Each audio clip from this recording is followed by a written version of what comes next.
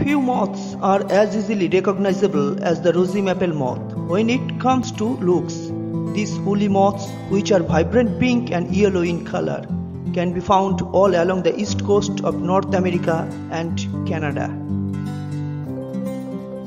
Their lifespan ranges from 2 to 9 months and their size ranges from 3.2 to 5 centimeter. Their weight range from 1 to 1.2 gram and their top speed is 5 to 10 km per hour. They mostly eat maple and oak leaves. During the warmer months, they can be found in temperate deciduous forest where they can be seen dwelling amid some of their favorite trees, maple trees, hence their name.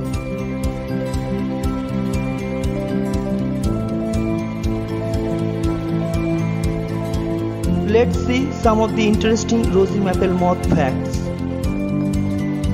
Fact number 1 The mouths of adult rosy maple moths are absent.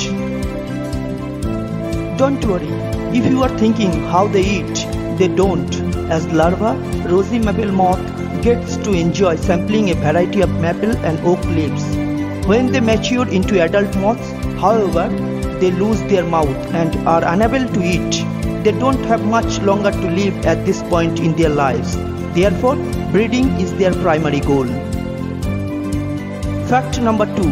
In a single breeding season, rosy maple moths can lay up to 200 eggs. In fact, in a single breeding season, a single female rosy maple moth can lay up to 200 eggs. This means that if each egg hatches into a female rosy maple moth, they will lay another 40,000 eggs in just a few months. Fact number 3 Rosy maple moths are endangered because to habitat loss.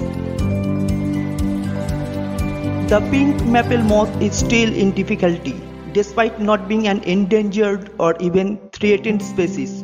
When trees and forests are cut down to create way for something else, usually towns or agriculture, deforestation happens.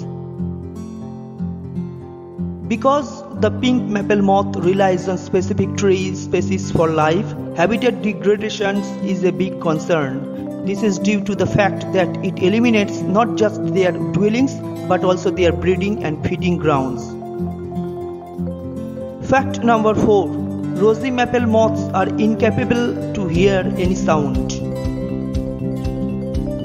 However, there are many other ways to communicate because they lack auditory receptors.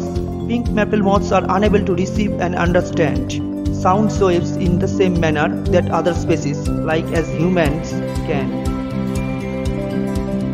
These moths, on the other hand, use their entire body to interact with their surroundings. Their antenna, palms, setae, and legs may all be affected. Setae are little sensitive ears that receive information from the environment and send it to the brain in moths. Fact number 5 Rosy maple moths begin in a distinct manner. A newborn rosy maple moth, like many other moth species and even insects, will not be found flying around. Instead, they take on the appearances of the green striped maple worm for the first few weeks of their lives. The maple worm will trade its green stripes for the moth's trademark brilliant pink and yellow markings as it grows bigger and undergoes transformation. Fact number 6 The rosy maple moth is the tiniest of all the silk moths. Despite its reputations as the grand silk moth, pink maple moths are the tiniest silk moths on the planet. Even female rosy maple moths, which are larger than their male counterparts, can't compete with some of the other silk moth species. The largest silk moth can grow up to 16 centimeters in length. Even the largest pink maple moths are the smaller than these. Fact number 7 they have a severe sting when they are larvae.